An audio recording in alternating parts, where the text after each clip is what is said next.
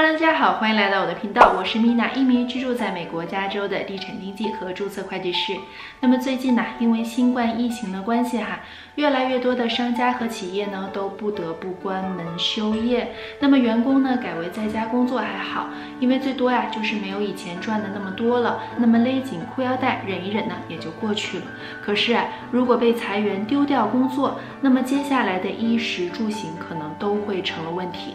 毕竟啊，在美国。美国人呢，他们的生活方式跟我们华人不太一样，是赚多少花多少，往往很少有充足的存款来以备这些不时之需的。所以啊，在这个期间，无论你是房东还是房客，都面临着非常严峻的问题。房客呢，可能是因为丢掉工作而交不起房租；那么房东呢，可能是因为收不到房租而交不了贷款。总之哈，两边都不是那么好过的。那么近期呢，洛杉矶还发布了一条暂停驱逐令。什么是暂停驱逐令呢？就是说禁止房东们在二零二零年三月三十一号之前，因为疫情关系丢掉工作的房客交不起房租而驱赶他们。那么这个呢，在三月三十一号之后，那么普通住宅租户呢，他们有六个月的时间来还清亏欠的房租；商业住户呢，他们会有三个月的时间。来还清亏欠的房租，那么不少房东啊，因为这个开始担心收不到房租，又不能驱逐房客，或是遇到那些明明可以交得起房租，却却因为这个借口而推脱的房客。还有些房东呢，自觉的减少了一些房租，从而达到可以按时收到租金的效果。所以啊，在这个非常时期。若是你想将房屋出租，一定要更加小心谨慎才行。那再插一个题外话哈，就是 Fannie Mae 和 Freddie Mac，也就是房地美、房利美呢，近期发布了查收入贷款。他们这些做贷款的人呢，如果因为疫情关系交不起房贷，可以延期两个月交的消息。那么你是做的不查收入贷款，那在这个期间还是要按时交贷的哟。因为为什么呢？你在做贷款的时候就没有上报收入，那么怎么又会因为非常时期？因为收入改变而不交贷款呢，所以就是这样的一个道理。那我们接下来再讲一下，在美国当房东。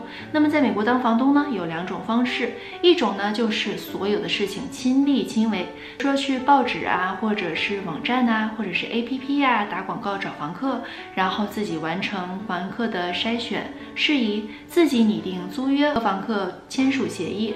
出租后呢，房东直接跟房东、房客进行沟通，关于房租的收取啊，还有各大大大小小的事宜啊等等。那么这种啊，比较适合本身居住在美国的房东，并且最好是居住的离出租房不要太远，而且呢，工作不是特别的繁忙，有闲暇的精力和时间去处理租房的事宜。那么第二种方式呢，就是全权托管，找房屋管理公司来为您解决难题。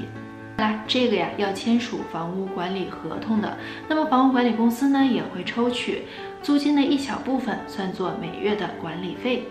还有一点，请广大房东注意的就是，在聘请房屋管理公司的时候，要注意，只有地产 broker，也就是地产商，才可以授权做房屋管理的。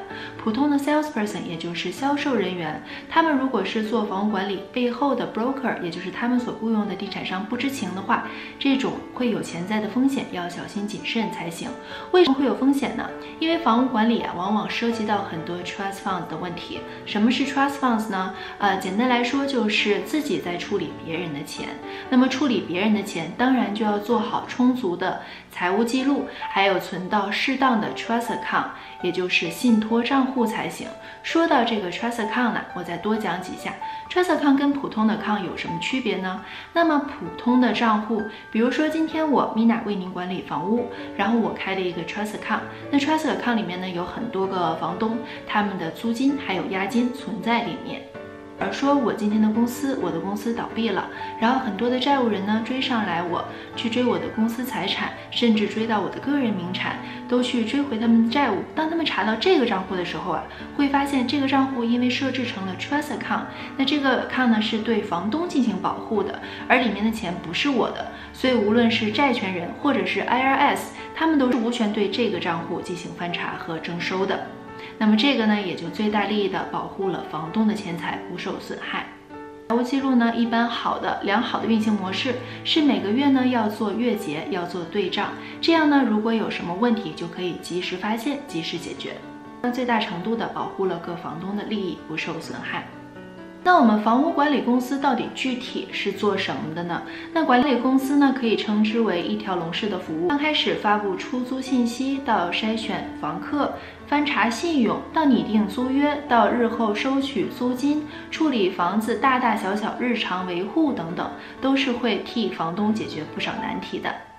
例子来说，假如说一个房客，呃，说我的房子哪里出了问题，公司呢会代替房东比价之后，来寻找合适的工人进行维修。那么当然了，如果维修费超取一定的额度，管理公司呢会提前跟房东打好招呼，获得授权之后才会如实照做。另外啊。管理公司还会替房东处理不交房租、呃晚交房租或者是驱赶房客等等的业务。那么当然了，刚才我所说的维修费甚至是驱逐费，管理公司呢只是负责实行，那么真正呢还是需要房东来进行支付的。无论是请房屋管理公司进行管理呢，还是自行管理，那么筛选房客都是一个非常重要的环节，不可以忽视。选房客呢，就需要房客填写申请表，并且呢，申请表上的问题要非常的实用，能让自己从这些问题上看出一个房客是不是一个好的房客。可以征询一些工作信息呀、信用信息呀，还有以往还有以往的租房工作历史等等。那么房东呢，还可以要求房客提供一些证明，比如说，嗯，tax return，呃，报税表、pay stub、工资单呐等等。来证明房客的收入能力是足以 cover 自己的租金的。点要提给大家的就是，在加州哈，在选取房客上，因为联邦有条法律叫的 Fire Housing Act，是呃杜绝各种歧视的。也就是说，房东不可以因为房客的呃种族、呃肤色、嗯家庭状况、国籍、信仰，还有呃性别或残疾而拒绝租房的。那么，如果是因为这些问题拒绝租房，那触犯了这条法律。那当然了，如果是因为房客的收入不足而拒绝出租的话，是可以的。还有就是刚才我所说的法律是基于房东不住在这栋房子里面的。如果房东是居住在这个房子里面的，那就另当别论了。我们在美国作为房东是如何分辨一个房客是好的房客还是坏的房客呢？在美国，在加州，其实有一些房客，他们非常非常的懂租房的法律，大大小小的法律他们都懂，可是呢，就是不交房租。那么这一种呢，就是 professional tenant，他们有一个外号就是呃专业专专业逃租房客。那如何杜绝这样的房客呢？其实房东们可以去做一下 reference check 或者是 background check，呃，去看什么呢？比如说，你可以找他之前的房东去，呃，提供一个推荐信，去看一下他的租房历史有没有按时交租啊，他为什么搬家呀？他他搬家前有没有给出三十天的通知啊？等等。从这个呢，能看出一个房客的租房素质和品质。那么其次呢，去看背景调查，就是看一个房客他有没有犯罪记录啊，有没有被驱赶的历史啊，等等，这些呢都会给我们良好的信息。还有在考验现任工作和呃工作历史、租房历史的时候，要特别关注一下这个房客是否有经常的换工作，是否有经常的搬家。经常的换工作呢，可能会觉得他的工作不太稳定。